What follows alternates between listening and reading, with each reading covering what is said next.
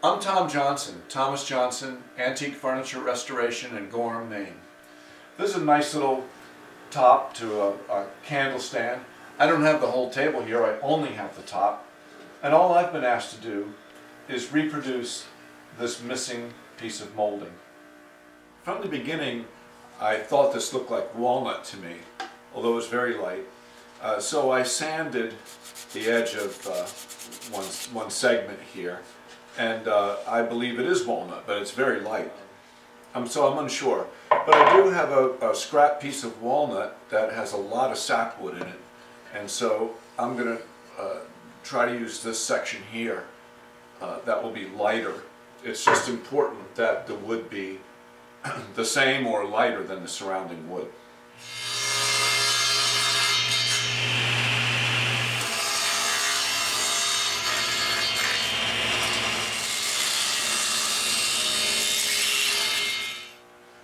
Now the next thing I'm going to do is cut this this rabbet here.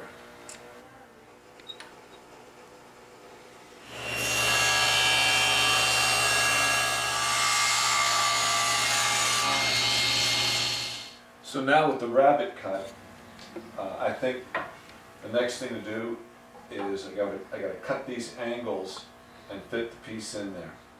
So there's uh, eight segments to this table. It's an octagon. Uh, so 8 into 360 is 45. And so if I held this at the center line here, each one of these angles is half of that, or 22 and a half. I'll just uh, uh, experiment on a piece of scrap, see if that works.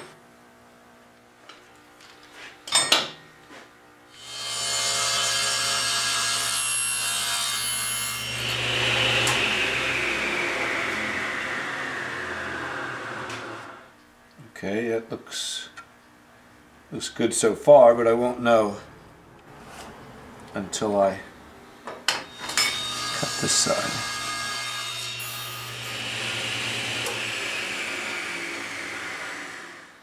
Yeah, my angles look good. Uh, I need to cut it a little shorter, which is good. I can do that.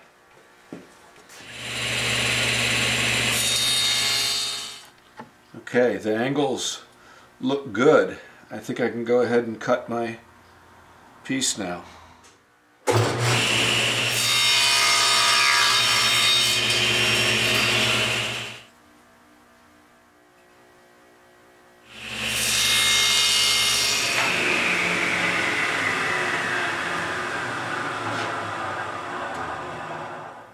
Okay, that looks good.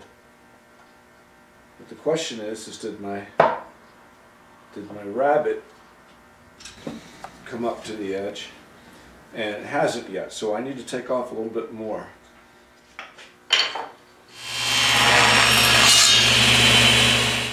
That looks good. My joints are good, and I'm right up against the core wood here. Okay, I think the next thing I need to do is cut this inside shape.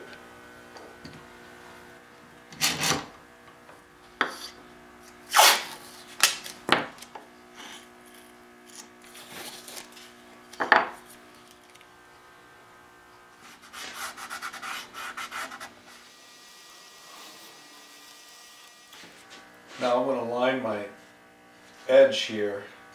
I'm going to put this tape on the top, but I need that line to line up with this here, so I'm going to transfer those marks to the top.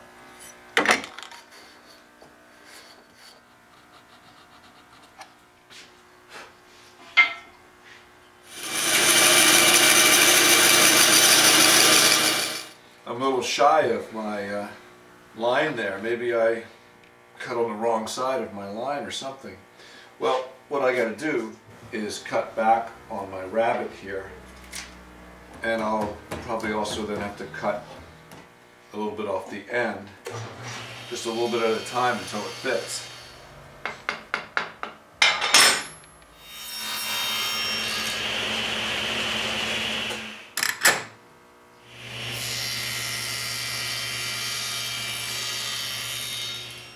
I think I lucked out. It goes right up, right up to the line where I want it. And it's uh, nice and flush here too. I wonder if I could use the same piece of tape. Try to line it up here. Yeah, I think that'll work.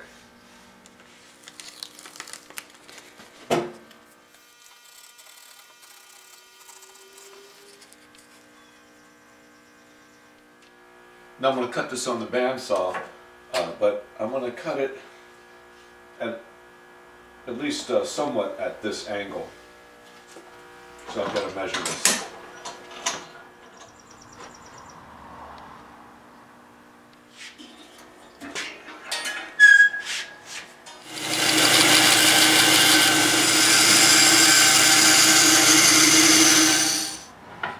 All right, starting to look like something.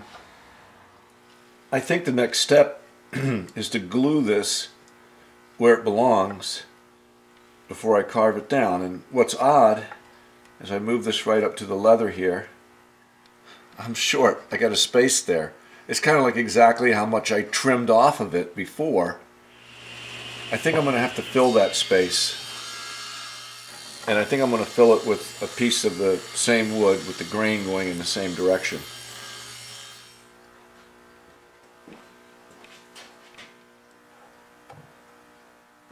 Think I need to try to cut a thinner piece.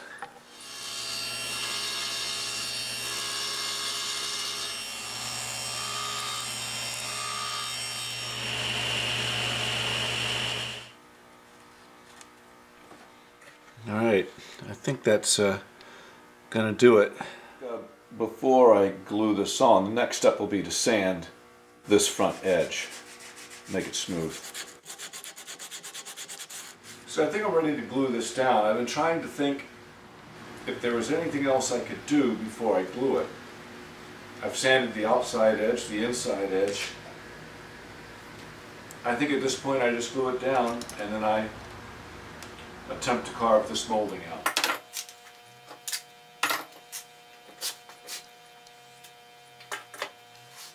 Okay, I think before I start working on this, well, I'm going to trim this veneer. But then I've got to tape off this leather to protect it. Before I tape this off, there is some decorative stenciling on here. Now, I don't know if it's really gold or not. It's supposed to look like gold, but I really want to protect that from the tape. So I'm going to put a little uh, wax on this leather top, taking it up as close to the edge as I can, so that the tape has minimal contact with the leather.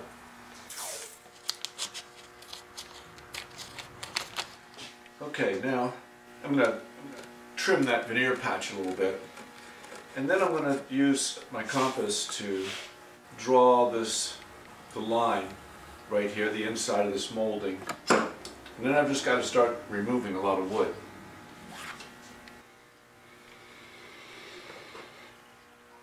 Yeah, this is my widest uh, and carving tool, but it's not quite right to curve. I think I'll need to cut my line um, with a knife at first. Okay, I've scored this uh, as deep as I can right now with this knife. I think I'll remove a bunch of wood as much as I can with a chisel up to that line.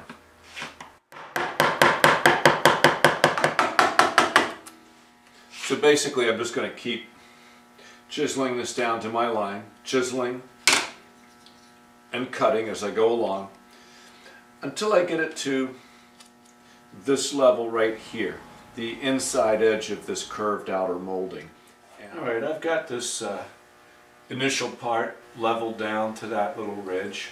It didn't take long, about 15 minutes. Uh, I think I want to round over the outside edge of this and then I'm going to define that corner between the ledge and this rounded over part.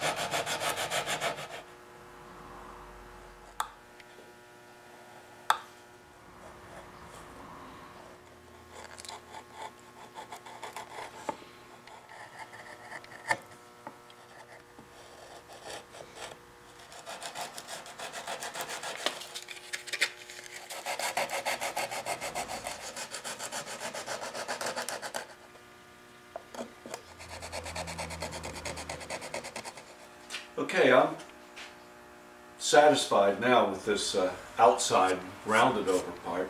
Now I've got to use a gouge to cut out this cove. I've been really worried how I was going to mark off the little ledge. Uh, but then I had an idea. Believe it or not, I actually have some 16th inch tape.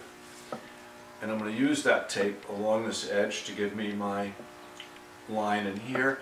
And I'll also use that tape on the vertical surface that remains here. It's funny, I'm using the tape to give me a, a visual, start the carving. the, the tape is so light colored that it, it's not much of a visual. I'm going to see if I can run a sharp pencil on the outside line of that tape. Might help a little bit. Now, luckily I've got a gouge here because I don't have too many gouges, but this one looks like it's the perfect uh, cove here. Got one that's a little bit smaller. It's still a good curve. I'm going to start with the smaller one and then just try to finish up with the one that is perfect. This blade uh, feels sharp, but it wouldn't hurt to sharpen it up a bit. Maybe I'll do this one while I'm at it. This one feels really sharp though.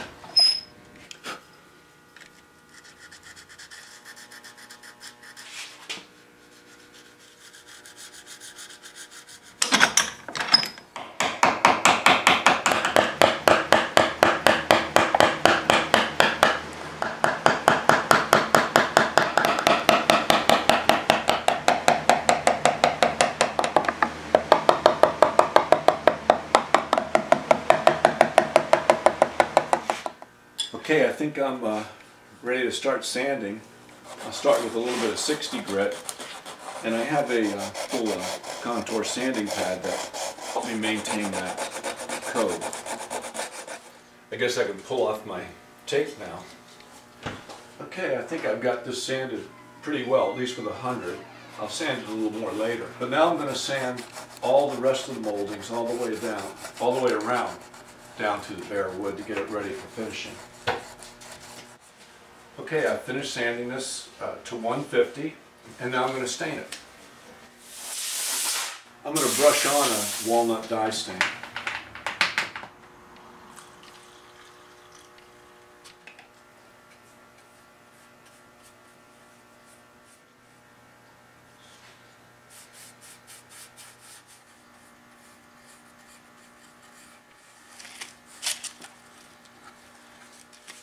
Now one of the reasons I use dye stain is because I can go back, you can apply multiple coats of dye stain and make something darker and darker. So I think that my new piece of wood is a little bit lighter than the others.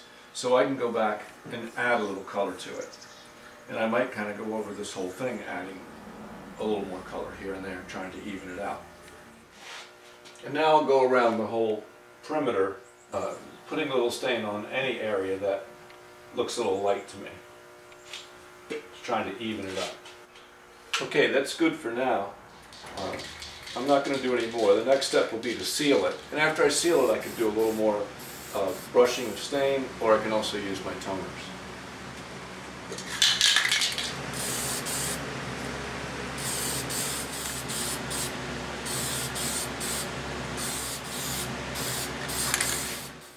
So last night, off camera, I gave this another coat of sealer.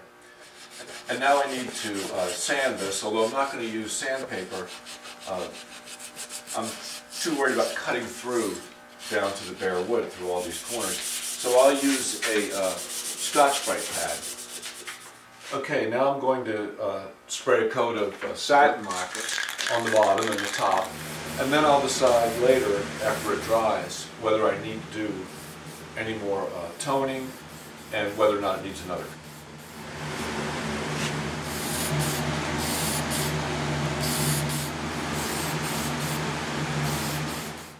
So this is dried really well. Looks really good on the bottom, it feels smooth. But I noticed here in the, in the molding itself, especially on the new piece that I uh, made, it's just a little bit rough. It, I think I need to sand that. I think I need to actually sand it. I'm going to use 500 and then the gray pad and uh, do the whole edge and spray it again. Alright, I've let this dry overnight. It's nice and smooth now, it looks great. I'm gonna now use, uh, go over it with a little steel wool, just to make it really nice and smooth. I'm gonna use the beeswax polish. Not that it needs polish, because I just finished it, but just as a lubricant for the steel wool. Okay, next step is to remove my uh, plastic and tape. This first layer of tape isn't touching the leather. Uh, I've got to be very careful when I do that, so I'm going to take a container here with some paint thinner in it and an artist brush. Now, it's this layer of tape that's actually on the leather that I'm most concerned about. If you remember, I did wax it up some to help with removal. And uh, in case I see any any sign of the adhesive pulling up any color or anything, the paint, that's what I'm going to use the paint thinner for, to release the tape. As I do this, I'm watching the surface here. I see nothing amiss. And I'm also looking at the tape here to see if I see it pulling up anything. There's a little bit of stain on the edge, but there's no, it's not pulling anything up off the leather. This is pulling up so nicely, uh, I don't think I need the paint thinner. But if I did see it trying to pull up a little clear finish or color or anything, that's why I would dip the brush in the paint thinner and loosen the tape with the paint thinner. And that would also help prevent any damage. There you have it, a nice little uh, tabletop, uh, new piece of molding. Uh, honestly, I, I'm not even sure which uh, piece of this myself. So it looks pretty good.